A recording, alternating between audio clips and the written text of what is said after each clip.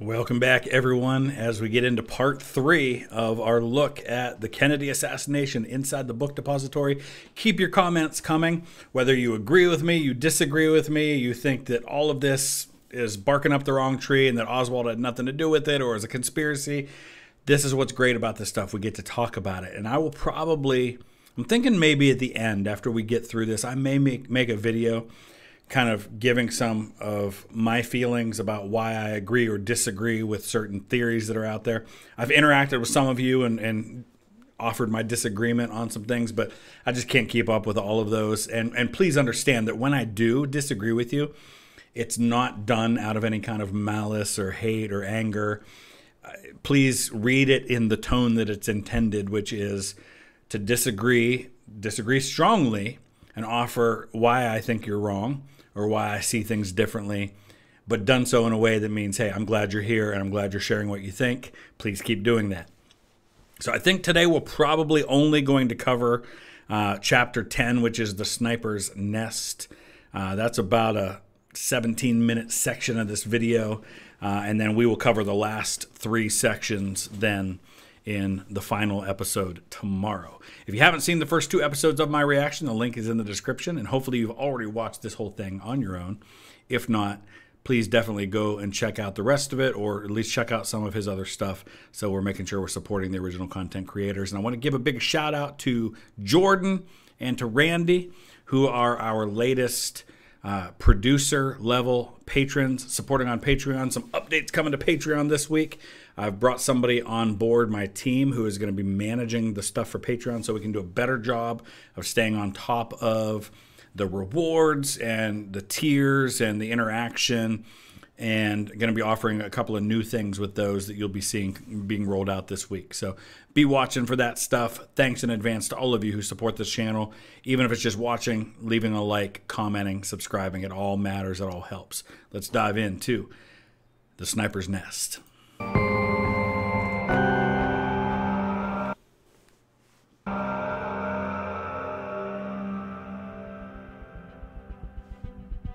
Following a quick sweep of the roof, Roy Truly and Marion Baker returned to the ground floor of the book depository.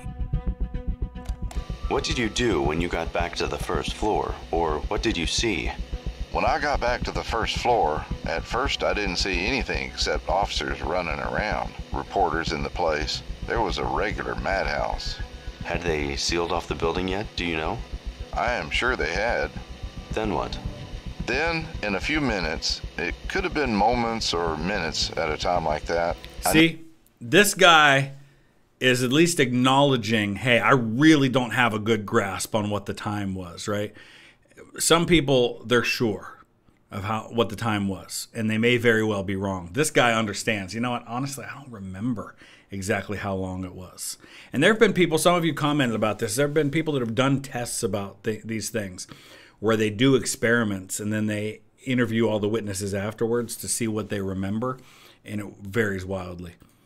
Noticed some of my boys were over in the west corner of the shipping department, and there were several officers over there taking their names and addresses and so forth. I noticed that Lee Oswald was not among these boys. Oswald was not the only absentee, but he was the only one whom Truly knew for a fact had left the building after the shooting. Meanwhile, on the sixth floor, a stack of boxes in the southeast corner attracted the attention of Deputy Luke Mooney. And I want to point out here, because we haven't really been talking about what's going on external to the book depository, that by this point, by the time we're getting to these events, Oswald's already been become a suspect. Uh, so what happens outside of this is that Oswald gets on a bus he leaves the scene immediately, gets on a bus. He goes to an area known as Oak Cliff, where I think he had a house that he stayed in. Um, and he's walking down the street when this officer, uh, JD Tippit, and his name was JD, like it didn't stand for anything. Some people have said it stood for Jefferson Davis. It didn't. His name was literally JD.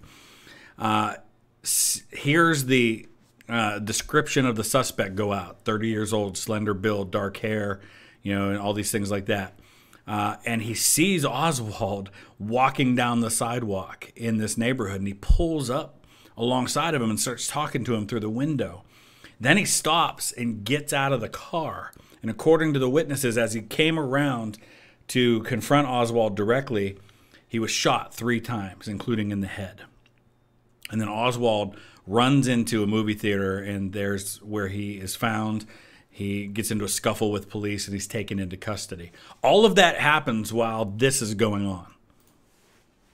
I went straight across to the southeast corner of the building, and I saw these high boxes. And the minute I squeezed between these two stacks of boxes, I had to turn myself sideways to get in there. That is when I saw the expended shells, and the boxes that were stacked up looked to be a rest for the weapon. Two windows west of the sniper's nest, authorities found a bottle of Dr. Pepper and some chicken bones, leftovers from the lunch eaten by Bonnie Williams shortly before the assassination. But according to some officers, including Mooney, remains of a similar meal were also found in the sniper's nest. Does this photograph show any place where you saw the chicken bone? If I recall correctly, the chicken bone could have been laying on this box, or it might have been laying on this box right here. There was one of them partially eaten.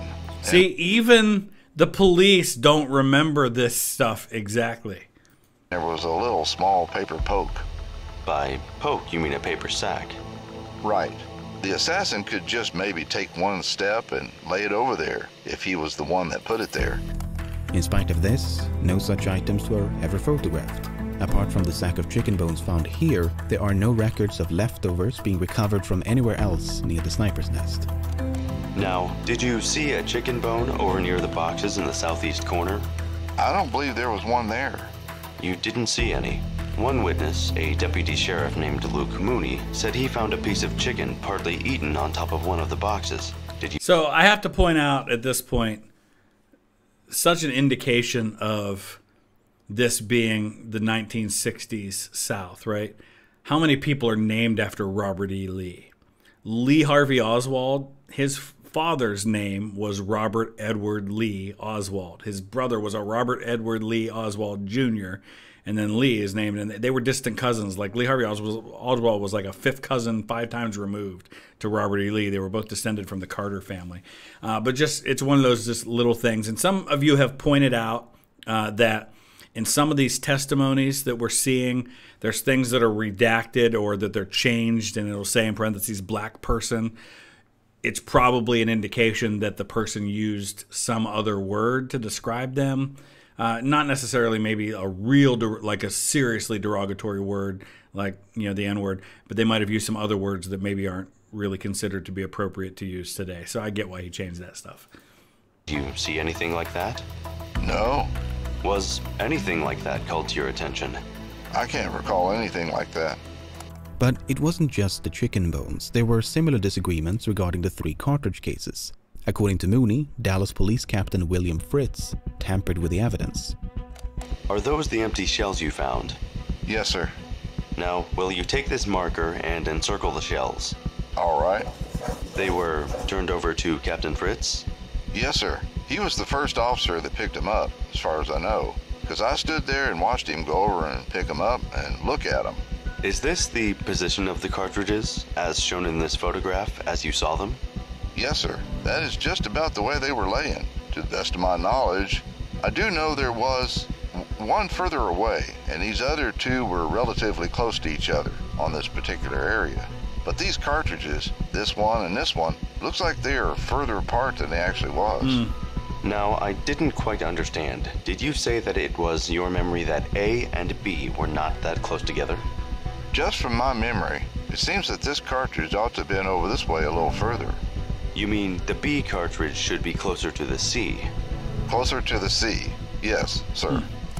Mooney did not explicitly state, but strongly implied that Captain Fritz moved at least one of the cartridge cases before they were photographed. See, again, this is the kind of stuff that, in my mind, and I understand why some of you disagree with how I see this. But please, the the arguments that I haven't done my research or that I'm ignoring evidence and I'm blind to the facts, that's not the case. I've looked at all the same evidence. Some people are saying, look, just look at the facts and you'll come to a different conclusion. I have looked at the facts. That's why I have the conclusion that I do. But it's this kind of stuff that causes doubts in people's minds and leads people to look at conspiracy theories, right? We can all agree that even if Lee Harvey Oswald acted alone, and I believe he did, uh, in, in killing the president, I am open to the possibility that other people were involved in getting him to that place. Maybe. Not sure. At the very least, though, there is a lot of incompetence that went into all of this, both before the assassination and after. For example, the FBI had Oswald on their radar screen. They had been investigating him because of his communist ties. He was handing out literature, stuff like that. Uh, at the very least, so much of the conspiracy theorists are fueled by stuff that didn't need to happen. According to Fritz, he did everything by the book. I told them not to move the cartridges, not to touch anything till we could get the crime lab to take pictures of them, just as they were lying there. And I left an officer assigned there to see that that was done. And the crime lab came almost immediately and took pictures and dusted the shells for prints. Amidst the swarm of officers canvassing the sixth floor was a lone journalist by the name of Thomas Alyea. Alyea was equipped with a camera and actually filmed much of the frantic search effort. Hmm. About three decades later, Alyea made some rather startling claims that were largely consistent with, but also expanded upon those made by Mooney. All right. I don't know what he said, but I'm going to stop right here. And I'm just going to say up front, no matter what it is that he says here, that understand that a person talking, everybody has an agenda. Anybody who speaks has a bias, has an agenda, has something they're hoping to accomplish by speaking. And just off the top of my head, if I'm looking at a journalist speaking months after, or years, even decades after the fact, I'm wondering what is their agenda? Are they trying to get stuff in the press? Are they trying to sell a book? Or, or are they just acting out of a desire to make sure that the facts are known? I don't know. After filming the casings, I asked Captain Fritz, who was standing at my side, if I could Uh, go. and there you go. Secrets from the sixth floor window. So um, he's inter- so somebody's interviewing this guy in 1994. So there's your time frame. 31 years later, he's not the one writing the book, but he's being interviewed three decades after. behind the barricade and get a close-up shot of the casings. He told me that it would be better if I got my shots from outside the barricade. He then rounded the pile of boxes and entered the enclosure. This was the first time anybody walked between the barricade and the windows. Fritz then walked to the casings, picked them up, and held them in his hand over the top of the boxes for me to get a close-up shot of the evidence. I filmed about eight seconds of a close-up shot of the shell casings in Captain Fritz's hand. While Please these tell me he was alleged wearing portions gloves. of Alyea's film have never surfaced, preservation took a back seat while the film was being prepared for broadcast. Portions of the film were carelessly chopped up and discarded, and fragmentary clips are all that remains today. In any case, after supposedly filming the casings in the hand of Captain Fritz, Alyea recalled how they were deceitfully returned to the floor. Over 30 minutes later, Captain Fritz reached into his pocket and handed the casings to Detective Robert Studebaker. Studebaker never saw the original placement of the casings, so he tossed them on the floor and photographed them. To Competence. counterbalance these allegations of foul play, I must also mention that there were those who found nothing amiss about the cartridge cases. Did you see a picture taken of the holes? Yes, sir. When the picture was taken, were the holes in the same position as when you had first seen them? This is the most important investigation that these cops will ever be involved in. And you do something as careless as throwing that stuff in your pocket, probably touching it with no gloves on, anything like that, and then throwing them back down. That's inexcusable. It's not. I don't think it's it's like I don't think there's a cover up here. I don't think there's an intent to deceive. I think it's just really bad police work on this part, guy's part. Yes, sir. They were. Even Mooney sort of agreed that the casings had not been moved, immediately after explaining that they had been moved. In the testimony we heard a few minutes ago, Mooney was shown this photograph. He then examined this one, taken from a different angle, before being shown this one. Now, these two are just differently cropped copies of the same photograph. I have another picture. Here is a picture taken, also from another angle. Does that show the cartridges? Yes, sir. Now, compare that with the other photograph. Yes, sir. Is that about the way it looked? Yes, sir. That is right. It sure is. That doesn't really gel with the casing supposedly being picked up and haphazardly tossed back on the floor, as Thomas Alyea would claim decades later. See, I didn't I didn't get that impression from what he said there. I thought he was just saying, yeah, it looks the same as the other picture, but maybe I'm wrong. While there are question marks surrounding the chicken bones and cartridge cases, there can be no Minor doubt stuff. that some of the boxes in the sniper's nest were moved prior to being photographed. Do you have any pictures of the boxes near the window before they were moved, other than those you have showed me? Just these two? Then you don't have any pictures taken of the boxes before they were moved. No. Now, I will show you another picture. Was that taken by you? Yes. Does that show the position of the boxes before or after they were moved? That's after they were dusted. There's fingerprint dust on every box. Yep. And they were not in that position then when you first saw them. No. Several minutes after the sniper's nest was discovered, a bolt-action rifle was found between two rows of boxes near the stairway. Now, there was some initial confusion regarding its make and model. Some thought it looked like a Mauser, but upon closer inspection, it was identified as an Italian Carcano. The- So I want to check on something because this is 52 minutes, almost an hour after the shooting. I think Oswald may have already been in custody at this point before they even found the gun. So let me take a look real quick though. Okay, so this is 1:22 p.m. Kennedy is pronounced dead around one o'clock uh, Central Time. So this is just after he's been pronounced dead at the hospital. Uh, this is about seven minutes after Oswald has shot and killed Officer Tippit. He's going to be arrested in the movie theater uh, at around 150. So at this point, Oswald has killed a cop and he's run. 13 witnesses see him kill the cop. Several, I think like five or six of them are going to identify him in a lineup that night. Uh, but he hasn't been arrested yet at this point. Now, there was some initial confusion regarding its make and model. Some thought it looked like a Mauser, but upon closer inspection, it was identified as an Italian Carcano. The officer who misidentified the rifle later explained that he did so at a glance.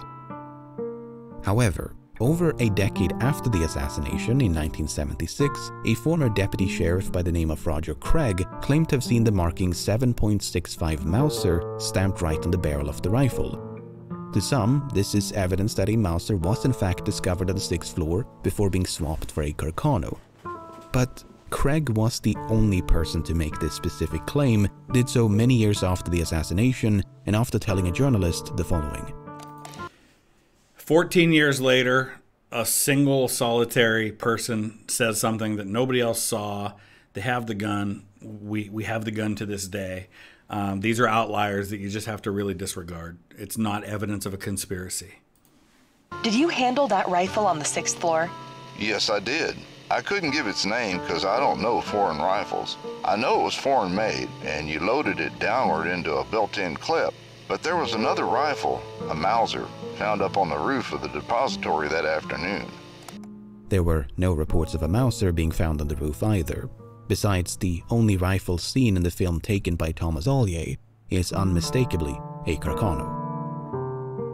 Unique markings on the cartridge cases would later prove that this was indeed the rifle from which all three had been fired. Before the day was over, the rifle had been traced to a company in Chicago, Illinois. The company had sold the rifle to someone named A. Hidell and shipped it to a post office box in Dallas in early 1963. Alec James Hidell was a pseudonym known to have been used by Oswald. So there was now a direct link between the shells, the rifle, and Oswald. So this is really important because this is direct evidence, right? They've got a gun in the depository on the sixth floor where many witnesses have said they heard or saw gunshots or saw a rifle. You have a physical description that fits Oswald pretty darn close. It's a little old on the age, but you know what? Honestly, if I'm looking at him, I'm thinking he's he's around 30 years old. I'm not thinking he's only 24. Um, and people aged typically aged sooner back then. Like if you look at people who were in their 40s back then, they look older than 40s. Um, but uh, plus from a distance. Uh, but then, honestly, it's him killing the cop is what gets him arrested so quick. If he had gotten off that bus, gone into the house he was staying at, and stayed there, different story, right? I mean, it takes. They're obviously going to be on his trail, and they're going to be looking for him. They're going to identify him as the suspect at some point uh, once they tie him to this gun. But he got people's on people's radar screen much quicker because he leaves the house after a couple minutes and immediately gets spotted by a cop. Not only that, but Oswald's prints were lifted from both the rifle and boxes in the sniper's nest. Apart from the spent shells and the rifle, authorities discovered one other key piece of evidence. Did you find anything else up in the southeast corner of the sixth floor? Yes, sir. We found this brown paper sack, or case. It was made out of heavy wrapping paper. Actually, it looks similar to the paper that those books in the building was wrapped in. It was just a long, narrow paper bag. The bag was alleged to have been found here, yet this space is suspiciously empty in all the crime scene photographs. How long was the paper bag, approximately? I don't know. I picked it up and dusted it for prints, and they took it down there and sent it to Washington. And that's the last I'd seen of it, and I don't know. Did you take a picture of it before you picked it up? No. Does that sack show in any of the pictures you took? No, it, it doesn't show in any of the pictures. Detective Robert Studebaker, who'd been working as a forensic assistant for less than two months, neglected to explain why he never photographed the hmm. bag. Yep. In Studebaker's defense, no one was on the lookout for a brown paper bag. Assassin, sure, rifle, casings, absolutely, but some debris in a dark lit corner of the room. It wasn't until the bag was picked up and inspected that its significance became apparent. Do you remember anything about what the sack looked like? Well, it was assumed at the time that it was the sack that the rifle was wrapped up in when it was brought into the building. Now we have to be careful here, and you, some of you might pick up on this. You don't want to jump to that assumption, right? You don't. You don't just want to look at something and say, "Oh, well, this must be what he carried it in," right? You can you can investigate if it was like maybe this is what it was, but I, I don't like that they start by assuming that. Maybe that's just his wording. I don't know. And it appeared that it could have been used for that. Could have been used. Okay, that's now, fair. as you may recall, Wesley Frazier drove Oswald back to Irving on Curtain November rods. 21st to pick up some curtain rods. The following morning, Oswald was seen carrying a package by both Frazier and his sister, Linnie Randle. According to Frazier, Oswald told him the package contained curtain rods which he then brought back to Dallas. But you may also recall that Jack Dougherty denied seeing such a package. Did you see Oswald come to work that morning? Yes, when he first came into the door. Did he have anything in his hands or arms? Well, not that I could see of. The thing is, Dougherty was not a reliable witness. When questioned by the FBI and Secret Service, he appeared very confused about times and places. He required assistance from his father due to considerable difficulty in coordinating his mental faculties with his speech. While Dougherty denied having such issues, his testimony is nonetheless riddled with contradictions. Wait a minute, did you go to lunch? Well, I went back downstairs to eat lunch. Yes, sir. What time? Oh, it was 12 o'clock. Wait a minute, did you hear the shots before or after your lunch? Before. Before I ate my lunch. You heard shots before you ate your lunch. Let's see. Yes, I believe. See, and, and when you, if you're ever on a jury, I've been on a jury for a, a drive-by shooting case. I ended up the foreman of the jury. Uh, you'll be told in your instructions that as the juror, you have to decide on your own, or as a group when you start having deliberations, whether or not you believe witnesses, right? You have to determine for yourself the credibility of individual witnesses. And we had that happen in our case, right? There were some witnesses that we found very credible, and then there were other witnesses that seemed believable, like they came across as believable, but as we started talking, we're like, nah, we just don't believe it. Like when we had our deliberations, we just didn't believe the witness.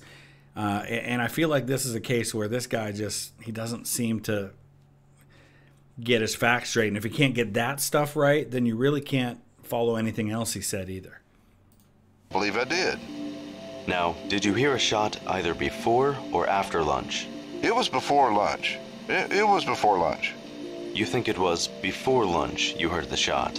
I believe it was. Yes, sir. While Dougherty insisted that Oswald had nothing in his hands when he arrived at work, it turned out that this certitude was based on nothing but a glance. Now, is that a very definite impression that you saw Oswald that morning when he came to work? Well, oh, it's like this. I'll try to explain it to you this way. You see, I was sitting on the wrapping table, and when he came in the door, I just caught him out of the corner of my eye. Not Given that reliable. Frazier had eyes on Oswald for several minutes, the weight of evidence suggests he carried a package to work on the morning of November the 22nd. A far more contentious question is whether the package carried by Oswald was the same as the brown paper bag discovered on the sixth floor. Did they show it to him? According to both Randle and Frazier, the only two witnesses known to have seen the package, the answer was a definite no. Hmm. Now, was the length of the package any similar to the bag? Anywhere near similar?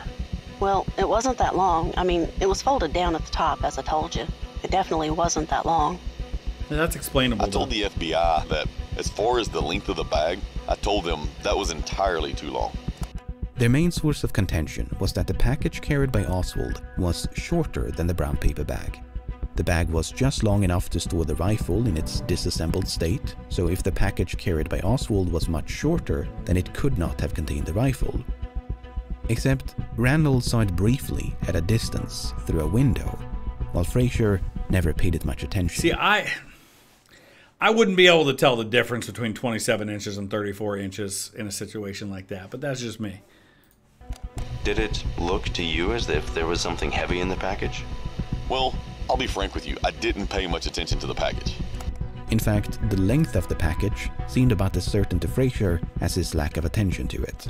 I didn't pay much attention. I didn't pay too much attention. I didn't pay any attention to it. I didn't pay much attention to the package. I didn't look at the package very much. Like I say, I didn't pay that much attention to it. I didn't So honestly, to me, even if you throw out the evidence of him carrying a package to work that day, I, I think he's still got plenty here.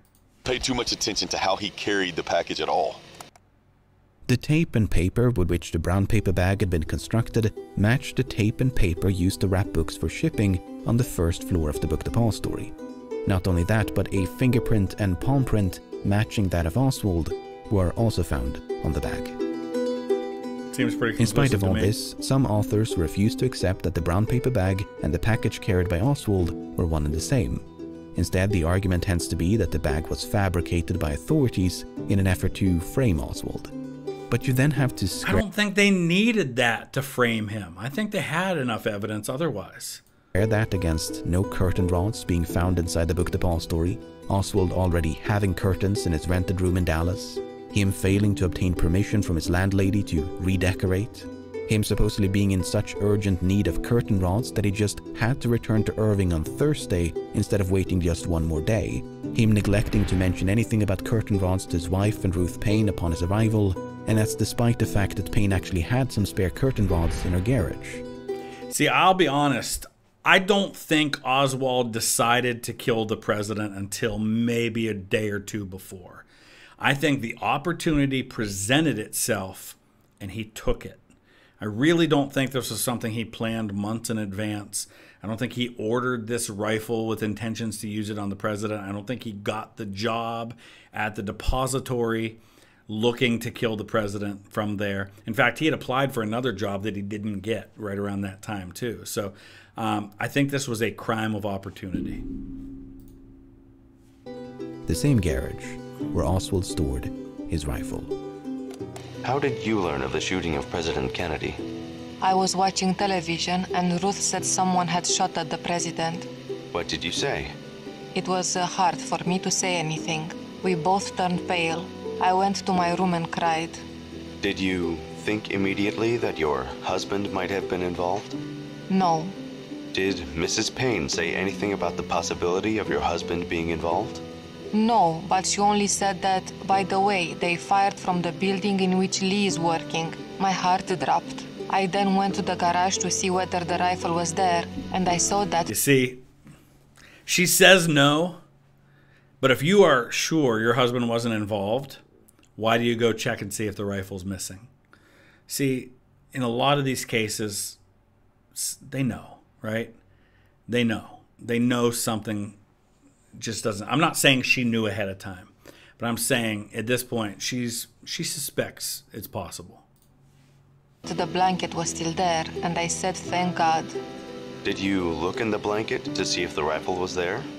I didn't unroll the blanket. It was in its usual position, and it appeared to have something inside. When did you learn that the rifle was not in the blanket? When the police arrived and asked whether my husband had a rifle, and I said yes. Then what happened? They began to search the apartment. When they came to the garage and took the blanket, I thought, well, now they will find it. They opened the blanket, but there was no rifle there.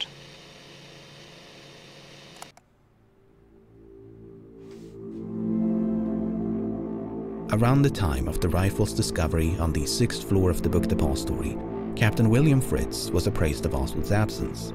Fritz immediately left the building and returned to police headquarters. We were standing in the hallway when Captain Fritz walked in. He walked up to my colleagues and made the statement to them, go get a search warrant and pick up a man named Lee Oswald. And I asked the captain why he wanted him, and he said, well, he was employed down at the book depository, and he had not been present for a roll call of employees. And we said, Captain, we will save you a trip, because there he sits. Already had him. That, to me, is such a fascinating part of this case, right? The investigation at the book depository is already on to Lee Harvey Oswald, but they've already got him in custody because he just shot a cop in Oak Cliff. So it's amazing how quickly this came together. And people think that that's evidence of a conspiracy. I think it's evidence of the fact that Oswald didn't plan this out. And when he left and he got confronted by a cop, he panicked and he shot him and he ran. All right, so we're going to wrap it up right there. Fascinating stuff. Let me know your thoughts in the comment section below. Let's keep the conversation going. We're all learning together. Let's challenge each other's ideas and views and biases and all come out knowing a little bit more than we did before on the other side. We'll see you tomorrow with the last part. Thanks for watching.